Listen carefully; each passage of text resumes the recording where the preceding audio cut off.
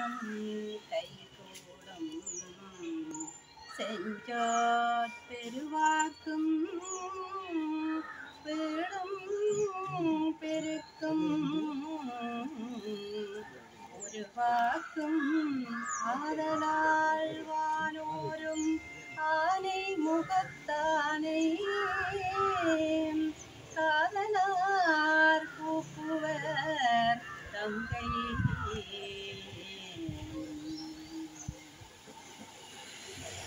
எல்லாம் வல்ல சொக்கவளவு சோதி விநாயகர் பெருமானை முதலிலே நான் என் மனதில் நிறுத்திக் கொண்டு உடனே உரைகின்ற எனது அப்பாவான அப்பாசிரியர் சின்னத்தம்பி சொக்கலிங்கம் அவர்களையும் எனது மனதிலே நிறுத்திக் கொண்டு இங்கு வந்திருக்கும் அனைவருக்கும் முதலிலே எனது முதற்கண் வணக்கத்தை தெரிவித்துக் கொண்டு எனது நன்றி உரையினை வழங்கலாம் என்று நினைக்கின்றேன். சொக்கவளவான் எனது அப்பாவின் திருநாமத்துடனே இருக்கின்றார் என்றுதான் நான் நினைக்கின்றேன். சொக்கர் என்றவுடனே எனக்கு சொக்கவளவான ஞாபகம் அதே நேர். என் தந்தையும் அவருடனே இருக்கின்றேன் என்றே நான் நினைக்கின்றேன். எனது அப்பா இந்த ஆலயத்திலே பொருளாளராக இருந்த பொழுது தம்பி எனக்கு பத்து லட்சம் உடனடியா நீ தர வேண்டும். இந்த புள்ளியாருக்கு நான் ஒரு கோபுரம் கட்டி போட்டு தாண்டா சாக வேண்டும் என்ற ஒரு கூட்டத்தை வச்சுட்டு வந்து சொன்னேன். சரியப்பா உடனே அனுப்புகிறோம் அதுக்குரிய கைங்கரியங்களை தொடங்குங்கோன்றவுடன் அவர் நிர்வாகத்தினருடன் கதைத்து அதற்கான ஒரு முதல் கல்லை நாட்டி வைத்திருக்கிறார் என்றுதான் நான் நினைக்கின்றேன். என்ன நீண்ட காலம் வாழ்ந்திருந்தால் ஐயா குறிப்பிட்டது போல கோபுரம் ஐந்து ஐந்து வாசலும் எனது அப்பா கட்டி முடித்திருப்ப அவருடைய எண்ணம் என்றோ ஒரு நாள் நிறைவேற வேண்டும் என்று நான் நினைக்கின்றேன். இங்கே இந்த வளைவு கட்டுவதற்கு எனது அம்மா அப்பாவுடைய பென்ஷனில் ஒரு சதமும் வேண்டாம்.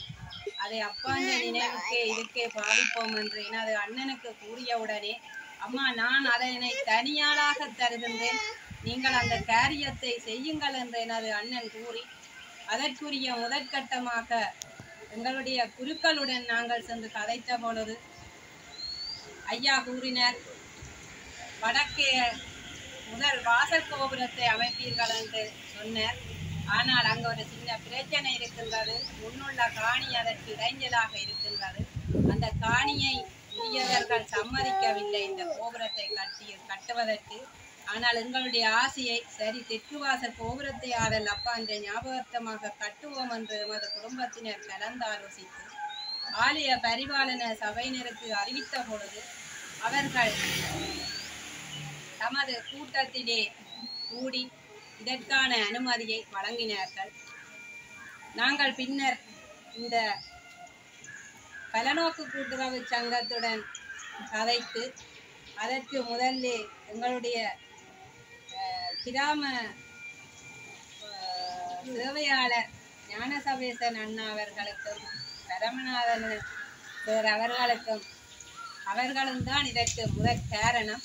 அவர்கள் சென்று இந்த கூட்டத்திலே கதைத்து அதற்கான ஒழுங்கையும் புள்ளியாருடைய கருணையினாலே பெற்று தந்தார்கள்.